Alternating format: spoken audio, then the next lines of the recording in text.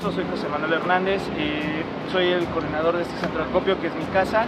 Estamos requiriendo medicamento intravenoso, por favor, analgésicos, sobre todo analgésicos e, e insulina. Por favor, en esta zona, en Calzada del Hueso, Miramontes, Cuapa, estamos bien de gente, estamos bien de víveres, pero requerimos medicamento intravenoso. ¿Me podrías platicar un poquito cómo viviste estos momentos? ¿Qué te llevó a, a poner el centro de acopio y cómo ha sido la respuesta de la gente?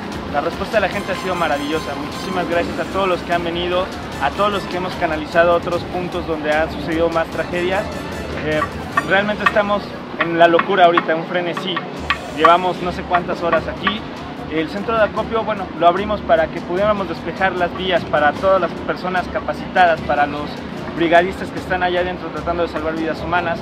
Cuando llegué yo a mi domicilio, todo esto estaba tapizado de gente, todos querían ayudar, todos tenían buenas intenciones, pero necesitamos el espacio, necesitamos albergar un área para que la gente capacitada pudiera entrar.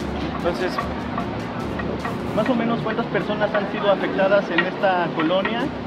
No tenemos números, realmente no, no, no sabríamos de decir cuántas personas hay afectadas. Esperamos que la mayoría salga con bien, con un, eh, solamente pérdidas materiales.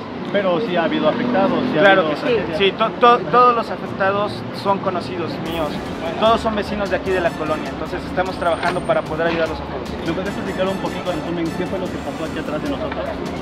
Vecinos de eh, los condominios que tenemos acá al lado, atrás de la BMW de Coapa, sufrieron el colapso de dos edificios. Hasta el momento han, sal, han entrado y salido varios grupos de brigadistas y seguimos trabajando.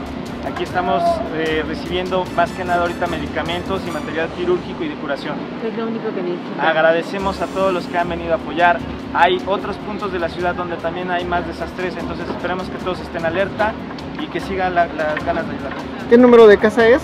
Es el número 2, El número 2, la calle. Los Girasoles, en la calle Rancho del Arco. Mencionas de Tasqueña que no hay ayuda ahí. Ah, sí. También nos acaban de comentar que hubo derrumbes en Acabamos de- Tasqueña a la altura de la Virgen, de la estación del tren ligero La Virgen. Nos dicen que no había llegado ayuda allí, no había voluntarios, no había brigadistas, no había autoridades. Mandamos. Por favor, todas las personas que deseen ayudar por esta zona, vayan a, a ese lugar. En ese momento los requerimos a todos allá. De víveres están bien acá y mandando De, de nos víveres y agua estamos bien, requerimos solamente medicamentos intravenosos. Por favor, analgésicos, antibióticos, todo medicamento, por favor, es para acá. Todo lo demás es para acá.